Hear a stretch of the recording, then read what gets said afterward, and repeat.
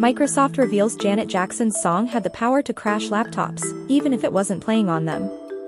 An investigation into the mysterious system failures found that playing the music video didn't just crash the laptop it was on, but also caused laptops nearby to fail.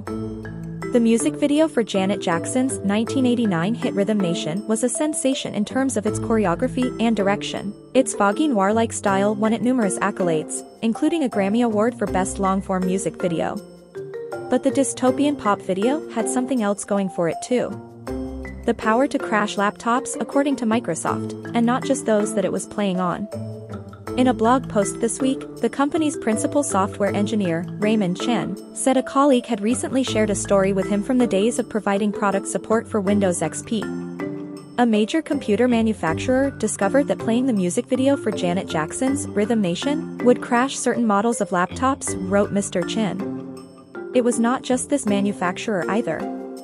The investigation found that playing the music video also caused some of their competitors' laptops to crash. But the weirdest discovery was yet to come. It didn't even have to be the laptop that the music video was playing on. Simply playing the music video on one laptop could cause another close by to crash. It turns out that the song contained one of the natural resonant frequencies for the model of 5400 RPM laptop hard drives that they and other manufacturers used, explained Mr. Chen. The issue was similar to an opera singer being able to shatter a glass by singing a particular tone. Because sounds are simply acoustic waves, there is a wavelength or frequency for each material that can create the most vibration, known as the medium's resonant frequency. For the affected laptops, which were shipped in approximately 2005, according to a vulnerability report filed by the MITRE Corporation, that frequency was in the Janet Jackson music video.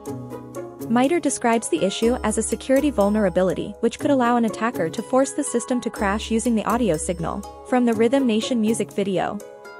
Thankfully laptops today won't suffer from the same issue. Microsoft says the manufacturer added a custom filter in the audio pipeline that detected and removed the offending frequencies during audio playback. That's all for this video.